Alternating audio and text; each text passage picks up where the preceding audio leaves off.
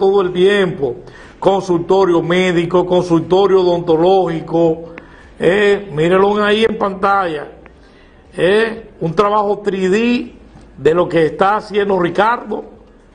Y eso viene en los próximos días. Se está trabajando, se está trabajando día y noche, incansablemente. Esto es sin bulla, esto es sin amaraco. No, no, ustedes conocen a Ricardo de los Santos, cómo lo hizo siendo diputado, cómo lo está haciendo siendo senador. Y el que diga lo contrario es porque le mina la cabeza de mediocridad. El que diga lo contrario de Ricardo de los Santos es porque la mediocridad está minando en su cuerpo. El único señor en la provincia que ha traído ambulancia, ha traído carro fúnebre, ha entregado camión de agua, eh, vehículo pesado para reparar caminos, de todo, señores. El único que lo ha hecho por la provincia siendo diputado y ahora como senador, en menos de ocho meses abrió la zona franca. En menos de dos años, señores, ya viene el presidente el día primero, el día primero, a dejar formalmente habilitada la Oficina de Impuestos Internos DGI para que usted no tenga que ir a San Francisco a pagar un impuesto. Se viene a dar el Picasso para las oficinas gubernamentales. Se viene a dar el Picasso para la extensión de la UAS. Se vienen a entregar unas casas que se hicieron en el municipio de Cebicos. Se viene también a dar el Picasso para lo que será este, los museos, una plaza cultural aquí en Cotuí, que va a tener varios museos. Todo eso gestionado por el senador histórico Ricardo de los Santos. Y el que diga lo contrario, señores, repito, es porque él tiene cuerpo minado de mediocridad. Es el único político, el único político de la provincia, está bien Samuel, el único político en la provincia que usted lo apoya, sin, ser de su partido, si usted es el PRM, si usted es el PRM, la cabeza, la conciencia suya le dice, no, pero hay que apoyar a Ricardo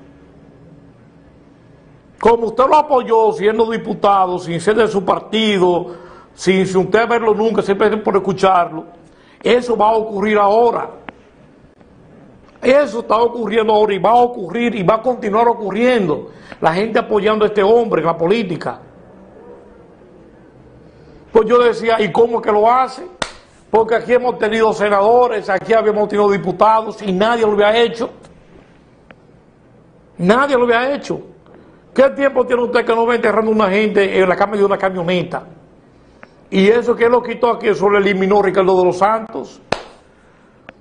Usted salió para la capital, para Santiago, con una persona grave en un carro, en una camioneta. Eso pasó a la historia. Porque este hombre trajo mucha ambulancia a la provincia, ambulancias. Que hay un problema de agua en una comunidad. Siempre llega el camión de Ricardo dando agua que usted tiene que hacer un curso de, inglés, de francés, de, informática, a través de la oficina de Ricardo. Si usted quiere estudiar, que no tiene dinero, una beca completa para hacerse licenciado en la UTECO, Ricardo de los Santos, en la oficina, gestionada por él.